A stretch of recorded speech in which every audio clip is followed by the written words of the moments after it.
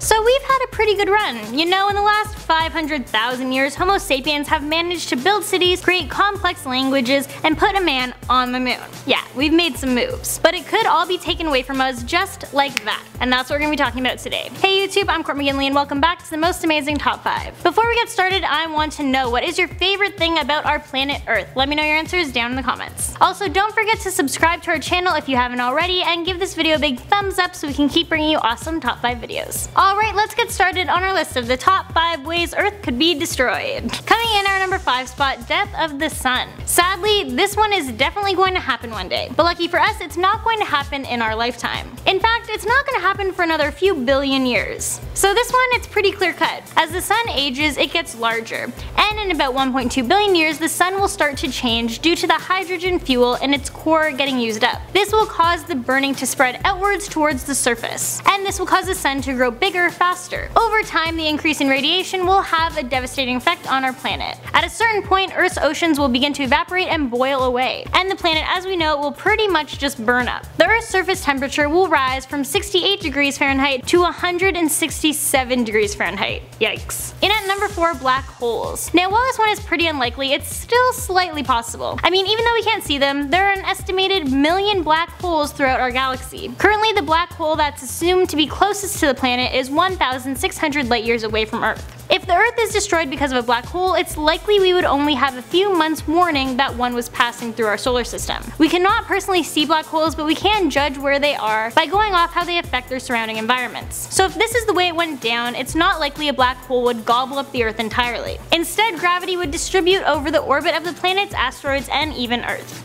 3, alien attacks. Oh yeah, I'm going there. This list is pretty depressing, so I wanted to put something on it that's not a definite catastrophe. Now some people they think aliens might be nice. You know like E.T. or those little green aliens on Toy Story. But when I think of aliens, I think about the ones on Mars Attacks. Yeah, you know the ones who destroy the Earth. Because let's not forget this list is called Top 5 Ways Earth Can Be Destroyed, not Top 5 Cute Little Aliens That We Can Coexist With. World-renowned theoretical physicist Dr. Stephen Hawking has his opinions on aliens and says if they were real they would most likely be hostile, and that they would be looking to colonize on Earth or mine our resources. So yeah, basically they would just chill up in space, send down probes with aboard, and just wait until we're all killed off. Coming in at number 2, Major Asteroid Impact. This one is just like it sounds, a huge asteroid coming and impacting Earth. Yeah, it would destroy it. In the past, major asteroids have caused large-scale extinctions on Earth. For example, the Chicxulub impact that happened 66 million years ago, and that was assumed to cause the mass extinction that wiped out the dinosaurs. Yeah, you know the one that none of us were around for. If a small asteroid were to hit our planet, it wouldn't end life on Earth as we know it, but it would put an end to modern life in whatever country it landed in. A medium-sized one would cause a nuclear winter, which would kill off a huge percentage of people. But if it's a huge asteroid hit,